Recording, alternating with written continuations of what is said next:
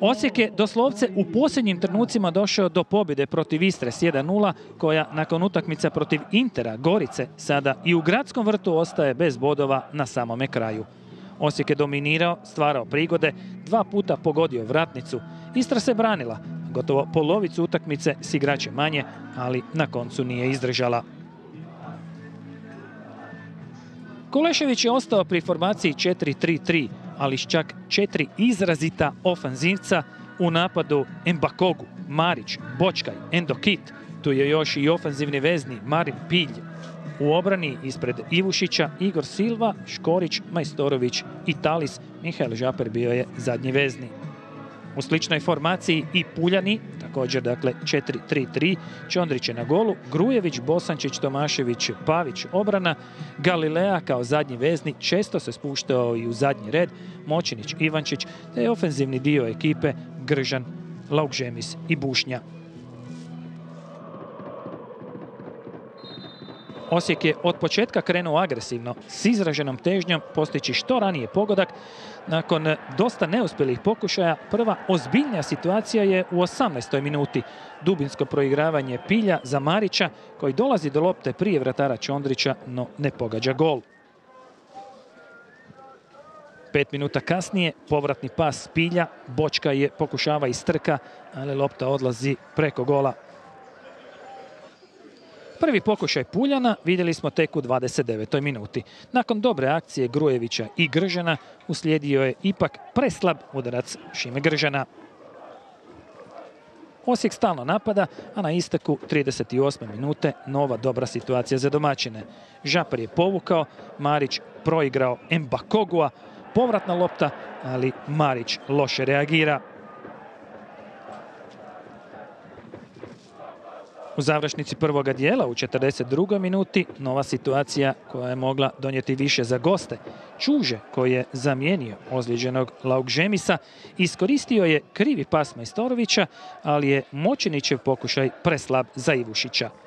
Osijek je imao više loptu u posjedu u prvome dijelu, više tražio igru prema naprijed, ali nije imao rješenja kako probiti brojni i gusti obrambeni blok Istre.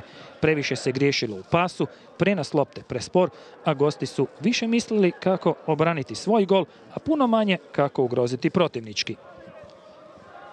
Odmah početkom drugog poluvremena Osijek je mogao povesti. Bočka je ubacio slobodnog udarca, obrana Istre kratko odbila, a onda Škorić vrlo snažno puca, ali vratnica spašava Puljane.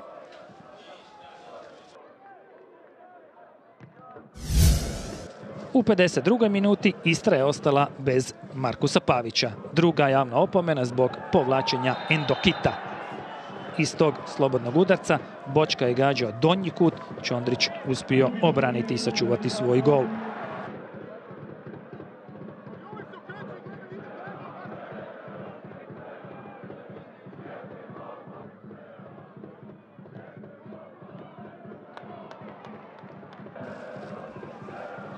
Sa igračem manje, Istra je bila prisiljena potpuno čuvati svoju mrežu. U 59. minuti Osijek prijeti nakon kornera.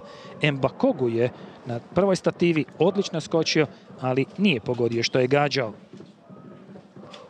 Slijedi jedan period od desetak minuta bez pravih prilika, pa onda u 70. još jednom je kapetan Osijeka bio u dobroj poziciji. Ubacio je Igor Silva, koji je, čini se, bio u zaleđu, a Škorić glavom puca preko gola. Odmah minutu kasnije nova, lijepa, velika prilika za Osjećane. Brza akcija preko lijeve strane. Lopta od Lopeza Marića koji puca iz prve. Mogao je povući još korak dva. Ovako je lopta otišla pored stative.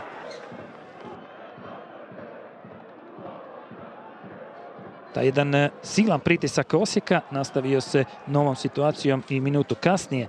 Špoljarić je pokrenuo akciju, dao loptu za Talisa, povratna lopta, natrčava Špoljarić i trese vratnicu drugi put.